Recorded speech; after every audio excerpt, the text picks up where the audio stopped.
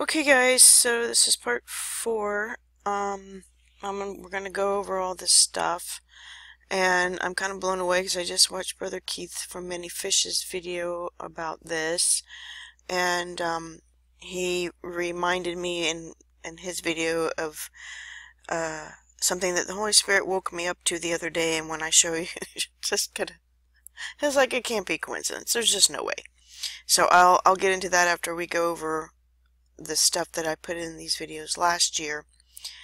And um, so what I'm going to do so that I don't have to say all this stuff again is I'm going to play uh, the video videos that I put up last year, not them in their entirety, just the parts that um, I want you to hear.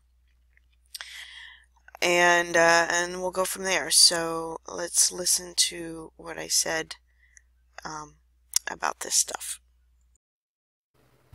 So, as I said, uh, this holiday is totally pagan in origin and it has very evil connotations, and from what I can gather, mocking the crucifixion, which is one reason why, since Second Passover and the first day of unleavened bread is falling in this time frame, that I found it necessary to uh, bring it out. Um, the well, let me just start with um, the main focus of May Day. It's of course it's a spring festival, so it, it has ties to uh, fertility in the spring. Um, I think um, the fertility part is pointing to uh, the bloodlines of the fallen ones. And the reason I say that is because, first and foremost, like I said, it's associated with fertility.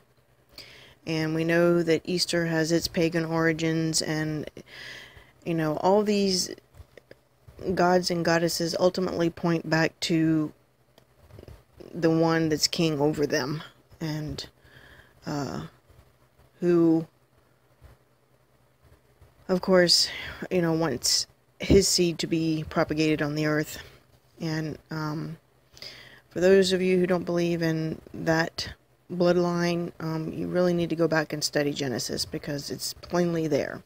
So anyway, I'm not going to get into that, but um, the main focus, like I said, it's a festival, so there's you know celebrating and whatnot, you know, dancing and um, eating foods and whatnot. But the main focus of this holiday is the maypole and uh, what I can see from looking at images of it, the ribbons that come off of it represent DNA strands, and I agree wholeheartedly.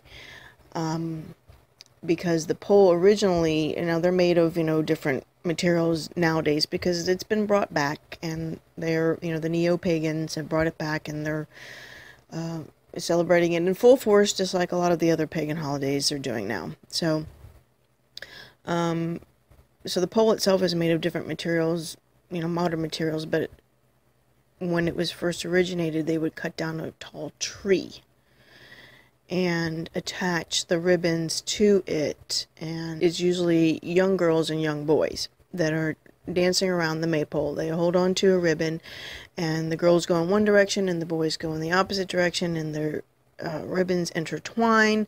And as they intertwine and go around the pole, it uh, forms a weaving pattern on the pole.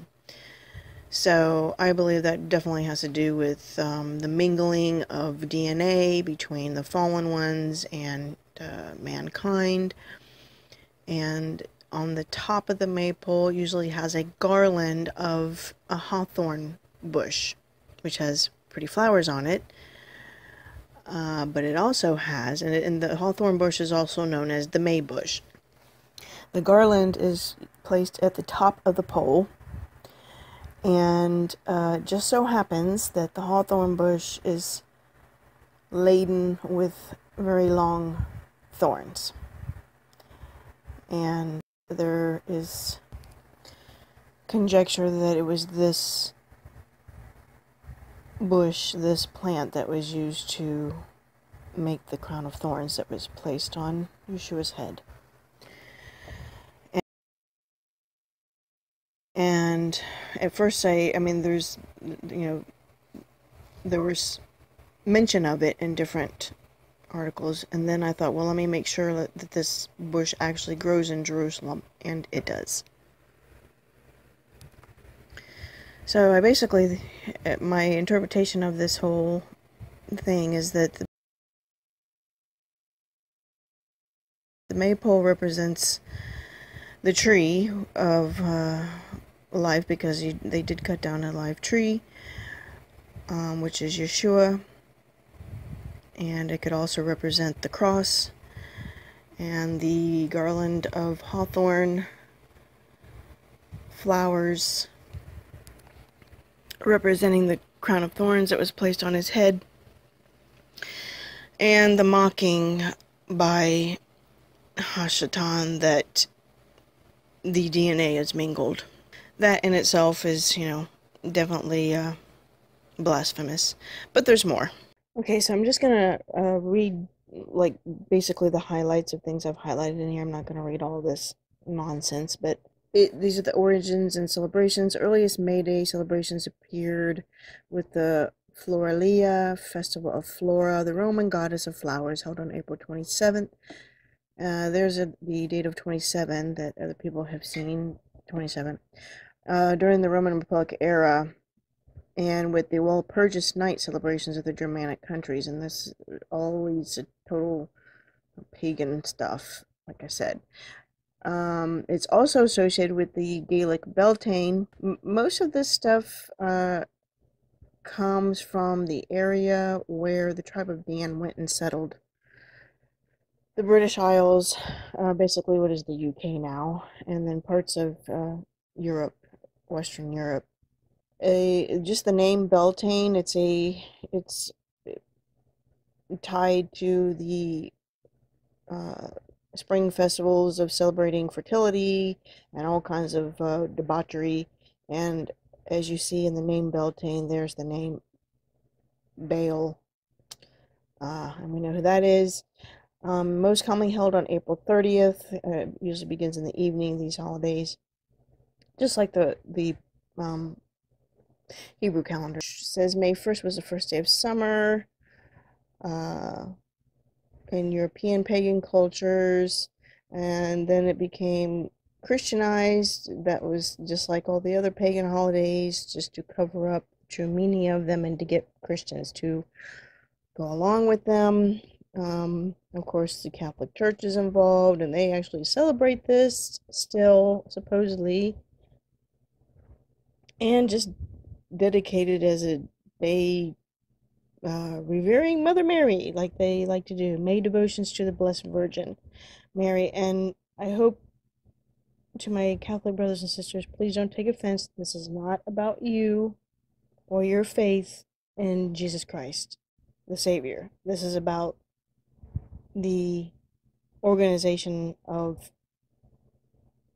the Roman Catholic Church. And um, if you don't know the origins of the church, then you really need to do some research.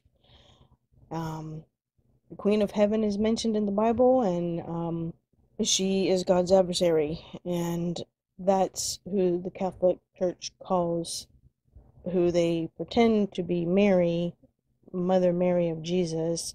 It's really the Queen of Heaven that they are worshiping and disguising her as the Mother of Jesus, and she is none other than the one who's coming back as a female. And we know who that is. That's the whole tie-in to the Baphomet statue. So, so please don't take offense to what I'm saying if you're Catholic, but please, I pray that you come out of that religion and just seek the Lord Jesus yourself. You don't need Jesus is your intermediary to to the Father, not anyone else. Um. So anyway, the Catholic Church, uh, of course, deified a person as a saint, Saint Walburga, and And as it, I'll touch on that in a second. And it says at the bottom, in the late 20th century, many neo-pagans began reconstructing traditions and celebrating May Day as a pagan religious festival, and they do still to this day. It's also associated with Burning Man, uh, the Wicker Man, all, all, this about celebrating um, certain times of year and lighting bonfires, and um, which has to do with sacrifice. So. So when I saw that it was the first day of summer and it is uh, according to the calendar that I'm following, which could be off by you know a day or two, um, when I saw the word summer, I immediately was reminded of um, Amos 8 and also uh, the parable of the fig tree, the lesson of the fig tree where uh, Yeshua says, Look at the fig tree and all the trees when they sprout leaves, and you can see for yourselves and know that summer is near.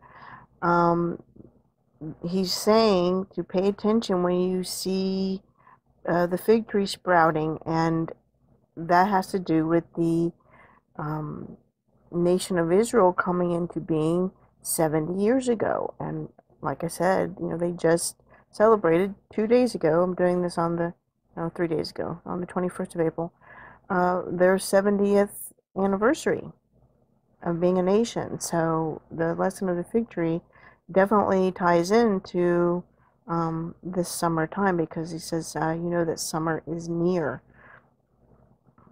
Um, and of course, it goes on to say, so also when you see these things taking place, you will know that the kingdom of God is near. Truly, I tell you, this generation will not pass away until all these things have happened. Heaven and earth will pass away, but my words will never pass away. Be watchful for the day, but watch yourselves, or your hearts will be weighed down by dissipation, drunkenness, and the worries of life, and that day will spring upon you suddenly like a snare. And that's why we keep, um, you know, for it will come upon, let me finish reading, for it will come upon all who dwell on the face of the whole earth, so keep watch at all times and pray that you may have the strength to escape all that is about to happen and stand before the Son of Man. So, you know, this is why I'm putting this video out, um, because it's pointing to a time frame. Uh, don't know if the rapture is going to happen. Don't know if anything is going to happen. It could just be another marker in time.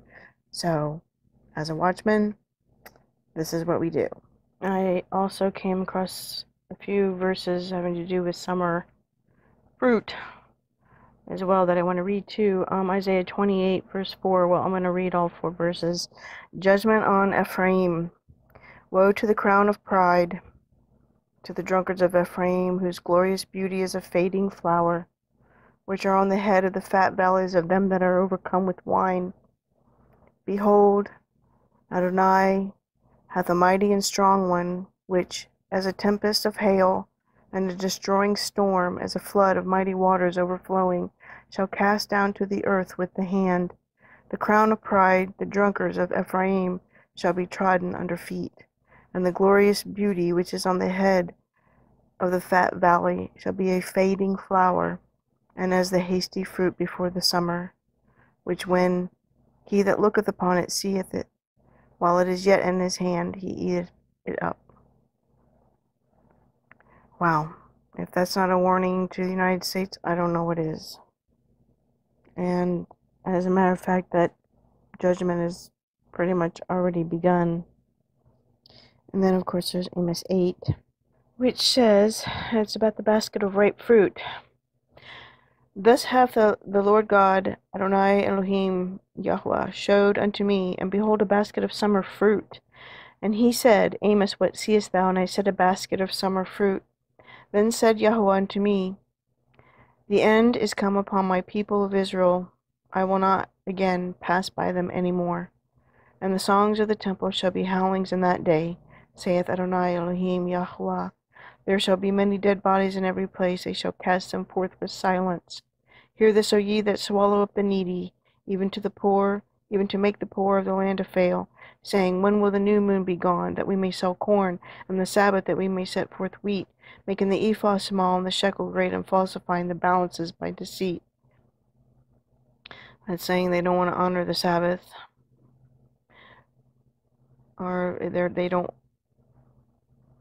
hold it in high regard, that we may buy the poor for silver and be needy, and the needy for a pair of shoes, yea, and sell the refuse of the wheat.